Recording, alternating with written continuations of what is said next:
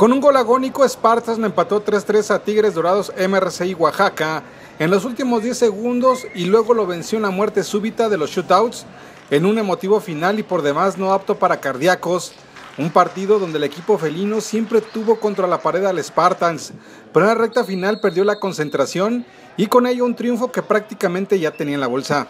La primera anotación fue obra de Ramón Maldonado, en una jugada que inició en propia cancha y que terminó de manera magistral el futbolista. José Luis Díaz logró el segundo tras un disparo en la frontera de la media cancha. El jugador de Tigres chocó el balón para anidarle en la red.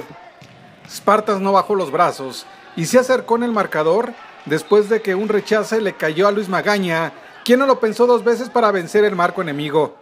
Los feninos lograron el tercero que parecía definitivo, en una extraña jugada.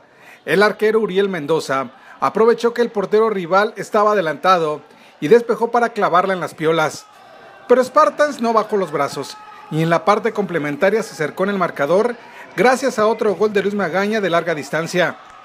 Y a segundos de finalizar el choque, Sergio Herreño igualó los cartones en una gran descolgada que culminó con un disparo cruzado. Ya en los shootouts, para quitar el desempate, los felinos fallaron en dos ocasiones. Spartans erró el primero, pero el segundo lo clavó para darle la victoria al equipo que resurgió de las cenizas. Así las cosas se dio una división de puntos, mientras que Spartans se llevó uno adicional para ganar en la muerte súbita. El arbitraje estuvo a cargo de Jorge Moreno y César Platas.